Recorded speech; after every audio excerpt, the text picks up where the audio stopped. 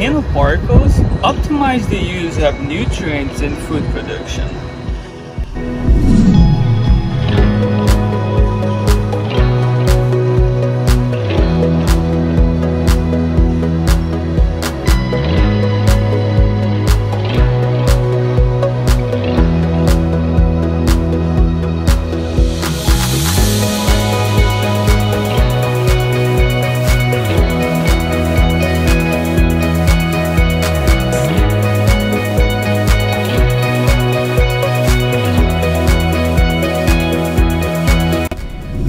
In Jetty Park in Florida.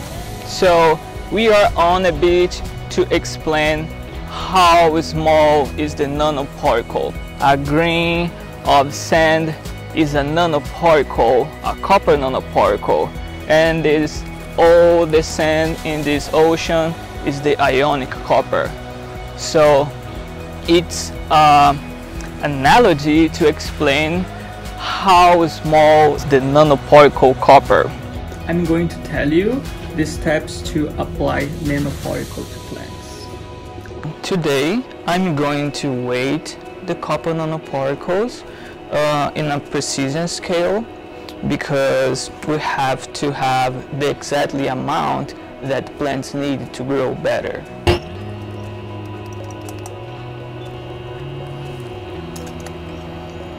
So in this beaker I have uh, 40 milligrams of copper nanoparticles, the exactly amount that I want to apply to my plants. So now we are going to dilute in water in an ultrasonic bath. I have a flask uh, of 250 milliliters. I'm going to dilute these copper nanoparticles into 250 milliliters of water.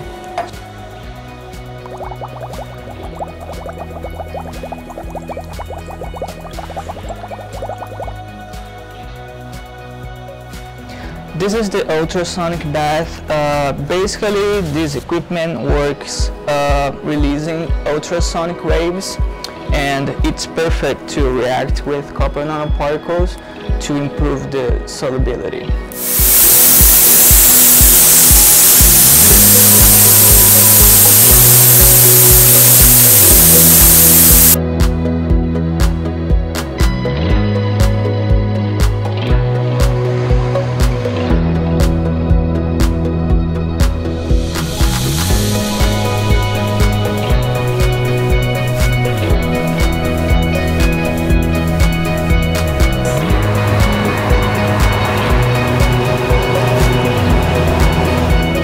I'm going to spread the solution into the soil inside the bags in the pots.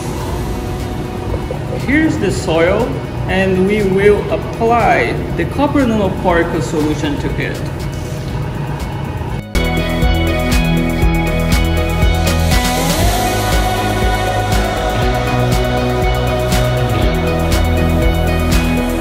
After applying my nanoparticles, I can sow my seeds and see if nanoparticles make a good impact on plant growth.